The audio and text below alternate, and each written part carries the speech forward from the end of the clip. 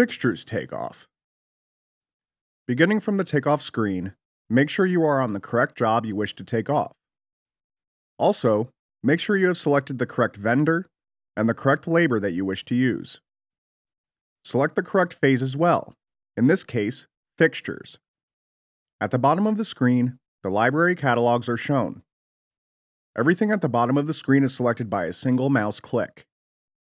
If you double click, you may accidentally select an assembly in the next prompt, essentially skipping an important step. With that said, we'll single click fixture assembly with branch. Now we'll decide what the ceiling type will be.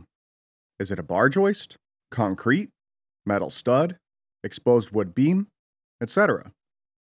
I'm going to choose bar joist, and I'm using 3 quarter EMT. What type of fixture is it? In this case, we'll choose 2x4 LED lay-in, so single click. Now, in this assembly group screen, I need to select the things that will make this assembly the way I want it. In this case, for my fixture track support, I want a number 12 gauge jack chain and an S-hook.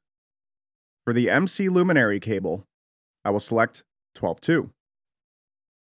For the EMT coupling, I will select EMT steel set screw.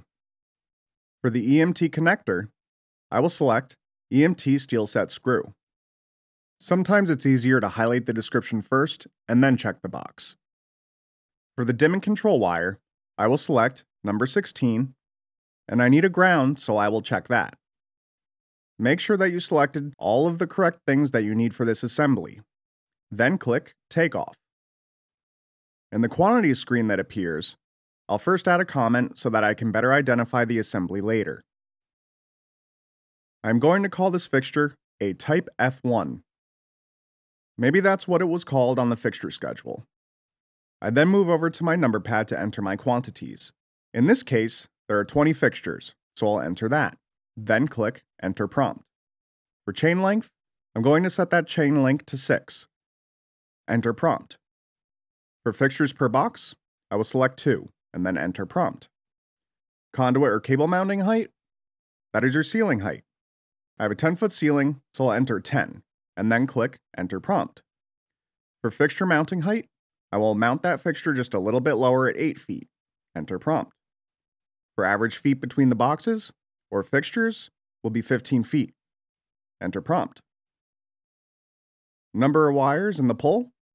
Remember, in the previous screen I checked the box to include the ground, so over here, I only need the other two wires, so I'll enter those. Enter prompt.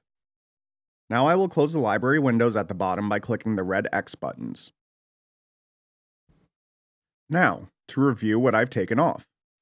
Line 1 is the assembly comment. The comment is a better way for me to identify this fixture. Remember, the comment will never have a material unit, no price, and it will never have a labor unit. Line 2 is marked by the red rectangle icon. That is the name of the assembly that I chose when I was at the bottom of the screen. Line 2 will never have a material unit and it will never have a labor unit. The actual fixture is on line 3. You'll see the 2x4 LED and we can see that I have 20 of them. There's still no price for this because it assumes you will get that quote at the end of the job. But it did give us 0.36 labor for us to install that fixture. What are the things that come with this fixture? We're going to get one yellow wire nut per fixture, so we had 20. We will get two red wire nuts per fixture, so we end up with 40. We get a clip, we get the jack chain that we checked off earlier, and we get the S hook that we checked off earlier. We also have an inch and a half deep, 4 inch square box, and we have 10 boxes altogether. There's the price on the box. Box price times the quantity of 10 equals $4.09. We have a labor unit of 0.12, and 0.12 times a quantity of 10 equals 1.2 labor hours. We get the cover for the box, and so on. Under the phase totals, we are looking at material dollars and labor hours. If I wanted to take off another fixture, I can do that. We'll select Fixture Assembly with Branch with a single click. I'm on the bar joist, and I'm using MC this time, so I'll single click to select it.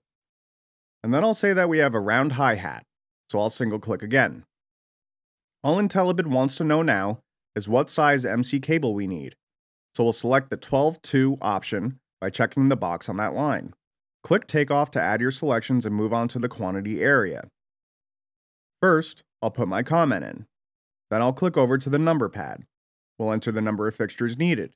In this case, I'll enter 12, and then click Enter Prompt. For wire cable length, I'll set that to 15, and then click Enter Prompt. At the bottom of the screen, I'll close my library windows again.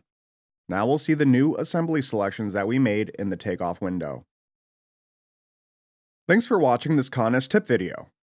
Like this video and subscribe to our channel to get more tips and to keep up to date with Conest software systems.